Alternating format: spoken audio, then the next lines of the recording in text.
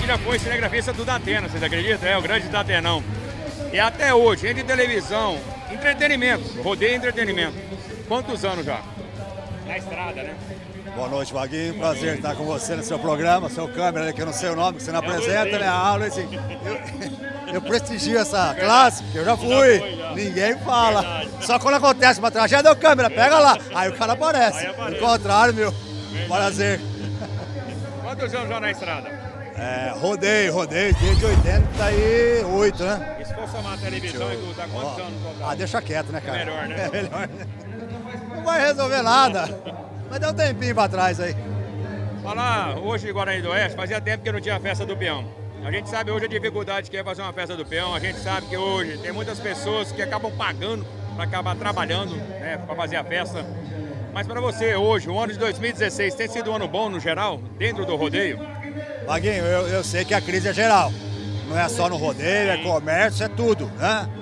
É, a semana passada, semana passada tava numa festa, o cara falou, pô, a usina mandou 200 embora. Então, se você parar pra ver, eu acho que é o rodeio, eu, eu, particular, não posso reclamar não. Não é aquilo que a gente queria, mas também, diante da situação que você vê, o que tá o país, tudo hoje, não tá ruim não. Só que tem um detalhe também que você vai concordar comigo. Não tá ruim para quem tem qualidade também. Porque se, quem não tem qualidade, nessa hora fica de fora, não tem jeito. É porque você tem qualidade e a pessoa te contrata. Mas quem não tem, Mas, mas- mas se você parar pra ver, não é só no rodeio isso aí. Ah, sim. Você tira a base por um carro. Um carro sem ar-condicionado hoje tem comércio? Então tem que ter qualidade, entendeu? Jogou pra entrou mão, vem a palma, Quando a gente se conheceu, você era só som. Hoje a gente vê que Marinho Som é som, é painel de LED, iluminação. Hoje, hoje o Marinho Som oferece um, vamos dizer assim, atendimento completo para quem vai fazer evento dentro do rodeio e até shows que eu sei que você acaba fazendo shows também. É, veja bem, porque a- a- as locadoras de som, de show, abraçaram a causa do rodeio, entendeu? Acontece o quê? Pro contratante, não é um mau negócio. O cara leva som de show. É ruim pro locutor viu, do rodeio. mas tudo bem. Essa é uma bandeira que eu já defendi, mas ninguém abraçou. Então, pro contratante, ficou bom, porque ele tem um som só que faz tudo. Então, aquele que tem só o som de rodeio e não colocou um painel de LED, uma iluminação para poder agregar, tá morto, não consegue trabalhar. É, a não ser que você afunde, né? Se você vai para outros estados que não aderiram a isso, aí você consegue. mas aqui não. Ah, não, o estado de São Paulo ficou como. Tá morto, tadinho. Adeus. Bom, gente, sempre, sempre faço questão de entrevistar o Marinho, porque além de um grande amigo, é a pessoa que fala o que tem que ser falado. Então, pra vocês, viu? Ainda tem pessoas como essa, que falam batido. Então, você que não, deve, não entende nada do rodeio, senta aqui na arquibancada e acha que tudo tá redondinho.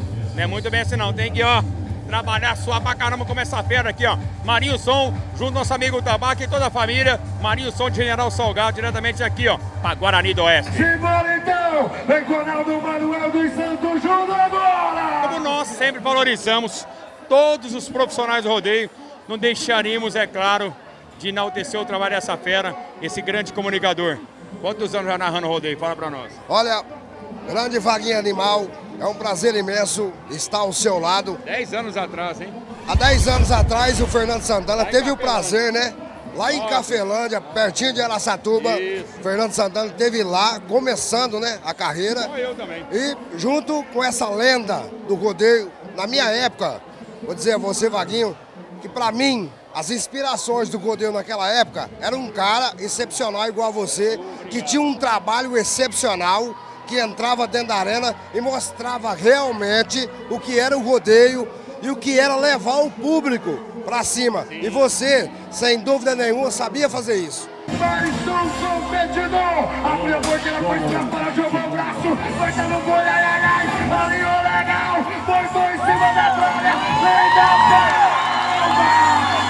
São Paulo, terra da garoa, o Rio é a terra do sol. No Goiás tem muito piqui, na Bahia tem muita carajé. São Paulo, terra de homem trabalhador, e Guarani do Oeste, terra de muita mulher.